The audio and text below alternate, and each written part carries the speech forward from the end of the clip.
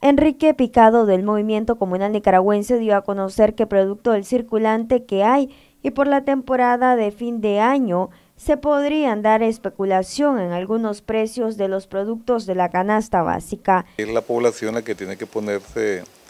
al tanto, alerta desde el punto de vista de su bolsillo, defender su bolsillo,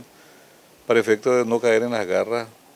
o en las manos del mercado desde el punto de vista de la ganancia de la especulación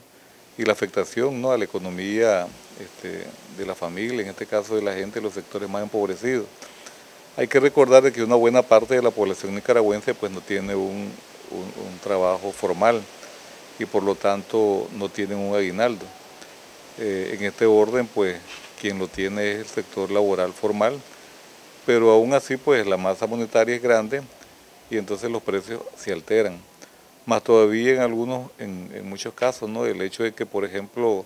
la gente por tradición trata de comprar cualquier cosa, eh, haríamos nosotros el alerta de que es una época más bien de ahorro, ¿verdad? Picado agrega que producto como el frijol se cotiza a 25 córdobas la libra, precio que ese debería de bajar. Que un producto tan básico como el frijol está alterando el costo de la economía familiar, pues, pero eh, hay un precio promedio de 25 Córdoba. Ya debería, como decimos, eh, de estar bajando, pero este, en un país como el nuestro, pues que es alto productor de frijoles, no podemos estar pagando ese precio. Claro que hay, hay factores más allá de la voluntad quizás del comerciante, del productor, que tiene que ver con la sequía, con los problemas serios que hubo este año, pero que de alguna manera también tiene que ver con la especulación, con el hecho de que el gran comerciante del mercado oriental por simbología, pues los grandes comerciantes del país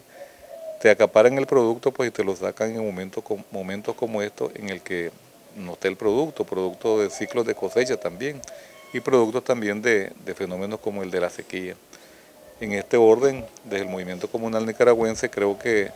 debemos hacer el alerta a que la población debe estar este, muy al tanto de lo que está pagando,